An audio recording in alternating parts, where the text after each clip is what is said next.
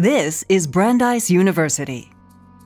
Objects are intrinsic to any kind of social relation.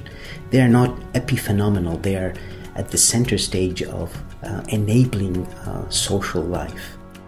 Here at Brandeis, we do have an interesting collection of archaeological and ethnographic origin.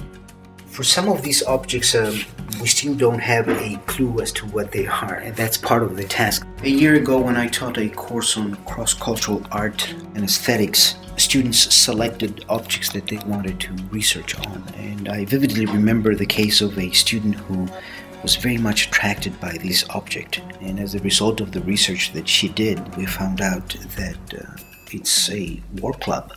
It was a great paper.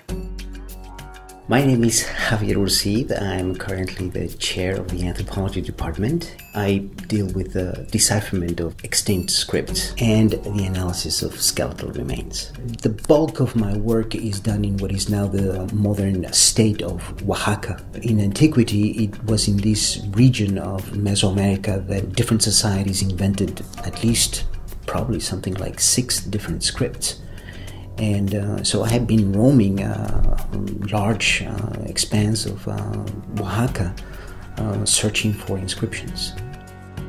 This book was most likely painted in the 15th century, 100 to 50 years before European contact. The interesting thing about the scripts that I work with is that not only do they have a phonetic component, but they usually accompany narrative scenes, pictorial scenes people doing things. They they also mark here parts of landscapes like hills. These these are conventions to make reference to hills and mountains.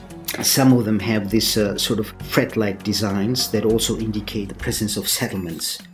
So it's a bit of a paradox to say that uh, in ancient Mesoamerica we're dealing with prehistoric societies because, as a matter of fact, the existence of all these scripts implies that uh, you know these ancient peoples were writing their own history, uh, history that we cannot yet read, but still, it's their history.